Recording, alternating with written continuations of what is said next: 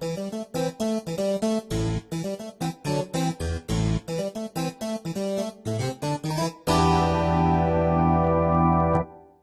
Tag, meine Damen und Herren. Herzlich willkommen an der Technischen Hochschule Köln zur Vorlesung Grundlagen der Elektrotechnik. Heute mit der Folge nichtlineare Kennlinien. Dazu schauen wir uns zunächst einmal nochmal Widerstandskennlinien an für einen linearen und dann für einen nichtlinearen Widerstand. Dann schauen wir uns zwei Beispiele an für nichtlineare Kennlinien, nämlich die Kennlinien von einem Varistor und einer Tunneldiode. Dann lernen wir das Scheren von Kennlinien kennen, wenn wir nämlich verschiedene Kennlinien kombinieren. Ja, eine einfache Widerstandskennlinie für einen linearen Widerstand kennen Sie. Das ist nämlich kurzerhand die Darstellung des Verhaltens von Strom und Spannung. Und bei einem idealen Widerstand kommt dabei eine Gerade heraus. Und wir können dann an den einzelnen Punkten jeweils Strom und Spannung ablesen. Die Steigung dieser Geraden, die gibt uns den Widerstandswert an. Das ist aber nur im Idealfall so. In der Praxis sind, ist der Zusammenhang zwischen Strom und Spannung oft nicht linear.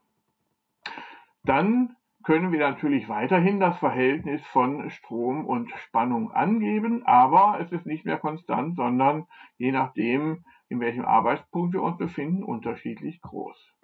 Wenn wir das Verhältnis von Spannung und Strom jeweils angeben, bekommen wir den sogenannten Großsignalwiderstand. Eine weitere wichtige Größe ist der sogenannte differenzielle Widerstand. Er ist definiert als die Ableitung der Spannungsstromkurve, also Delta U geteilt durch Delta I.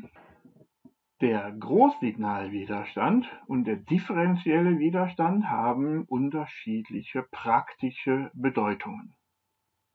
Der Großsignalwiderstand ist relevant für die Verlustleistung in einem Bauteil. Der differenzielle Widerstand hingegen ist häufig verantwortlich für das Kleinsignalverhalten, beispielsweise in einer Verstärkerschaltung, bei dem wir praktisch nur kleine Spannungsänderungen um einen Arbeitspunkt herum haben. Schauen wir uns mal ein Beispiel an, zum Beispiel für einen Varistor.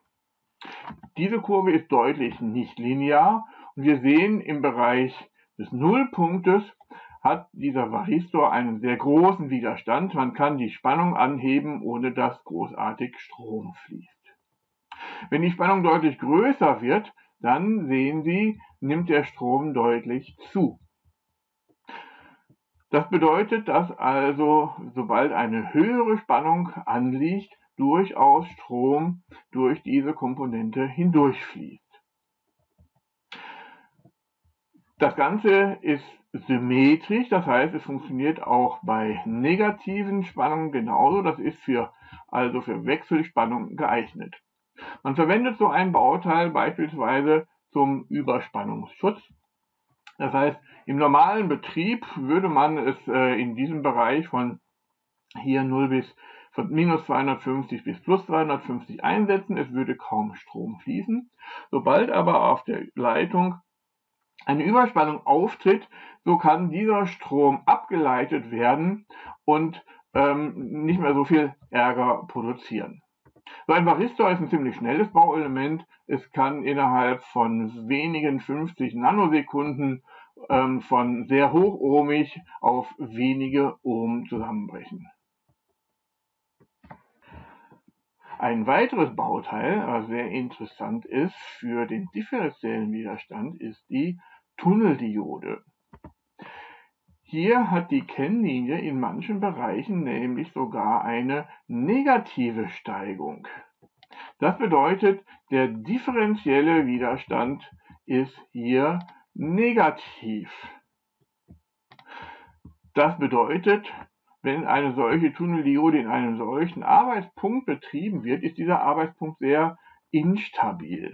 Man verwendet ihn daher häufig in Oszillatoren. Schauen wir uns nun einmal an, wie wir mit solchen nichtlinearen Kennlinien umgehen, wenn wir sie beispielsweise mit einer linearen Kennlinie kombinieren.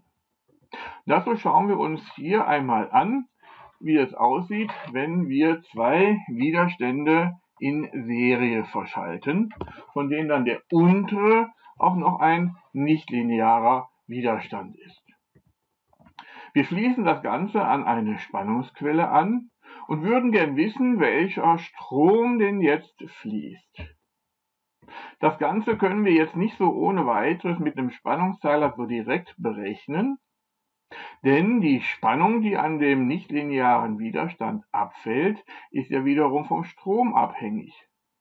Ja, und der richtet sich danach wiederum, wie gerade der Arbeitspunkt gewählt ist, und da beißt sich die Katze in den Schwanz.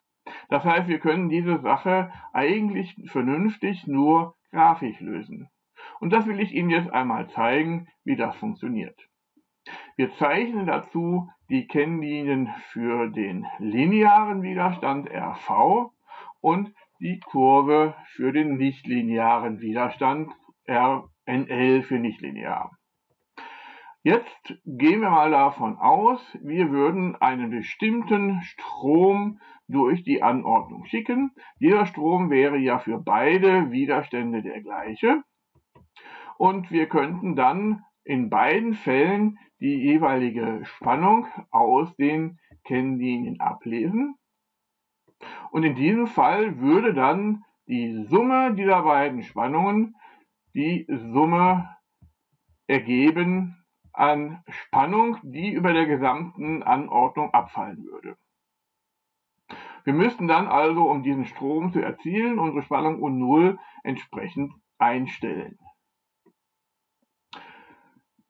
Dieses Gedankenexperiment können wir jetzt auch noch für einen anderen Strom machen und so erhalten wir dann einen anderen Punkt in unserem Kennliniendiagramm. Und das machen wir eben nicht nur einmal, zweimal, sondern sehr häufig, sodass wir da also eine ganze Serie, eine ganze Schar von Punkten haben und erhalten damit dann mit dieser Schar von Punkten die gescherte Kennlinie für den Gesamtwiderstand, wenn wir diese Punkte verbinden. Jetzt können wir auch ermitteln, wie groß der Strom ist, wenn die Spannung U0 vorgegeben wird. Wir schauen auf der x-Achse, wie groß unsere Spannung U0 ist, schauen bei dieser Spannung in unserem neu erhaltenen Kennlinie nach und sehen, aha, an diesem Punkte ist unser Arbeitspunkt und dann können wir den Strom I0 ganz bequem ablesen.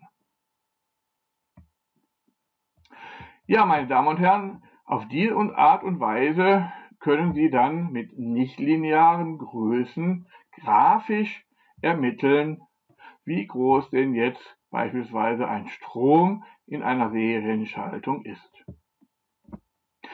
Damit möchte ich mich für heute verabschieden. Ich wünsche Ihnen noch einen schönen Tag. Bis zum nächsten Mal.